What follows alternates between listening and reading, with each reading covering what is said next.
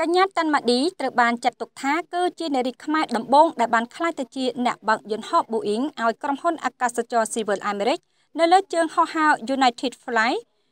264ពីទីក្រុង San Diego ទៅកាន់ទីក្រុង Denver ជាមួយនឹងលោកឆៃជាមិត្តភ័ក្តិរបស់គាត់សម្រាប់កញ្ញាតាន់ម៉ាឌី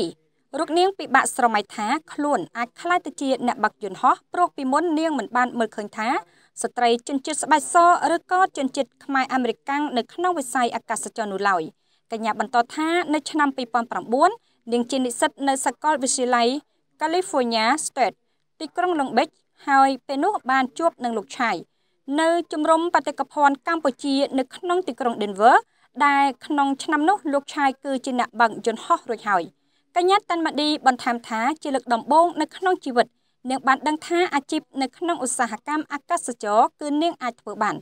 ជាមួយនឹងការបង្ហាត់បង្រៀនរបស់លោកឆៃនាងក៏បានចាប់ផ្ដើមសម្រេចគោលដៅរបស់នាងនៅក្នុងការក្លាយទៅជាអ្នកបើកយន្តហោះនៅក្នុងឆ្នាំ2012កញ្ញាតាន់ម៉ាឌីបានទទួលបានសិទ្ធិបើកយន្តហោះនារីខ្មែរដំបូងដែលជាអ្នកបើកយន្តហោះ Boeing រូបនេះបញ្ជាក់ថា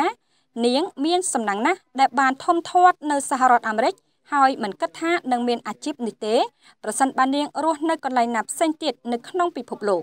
នាងយល់ថាប្រទេសមួយចំនួនមិនអនុញ្ញាតឲ្យស្ត្រីទទួលបាននូវការអប់រំឡើយគឺអនុញ្ញាតឲ្យខិតខំតែម្នាក់ឯងប៉ុណ្ណោះ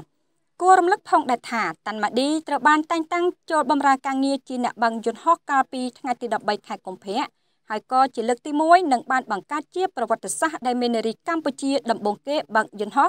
Los Angeles Boeing 737 ម៉ាឌីបានផ្ញើសារដល់យុវជនថាការងារនេះមិនមានភាពងាយស្រួលឡើយឲ្យតែយើងមានការតាំងចិត្តខ្ពស់នោះយើងអាចសម្រេចគោលដៅរបស់យើងបាន។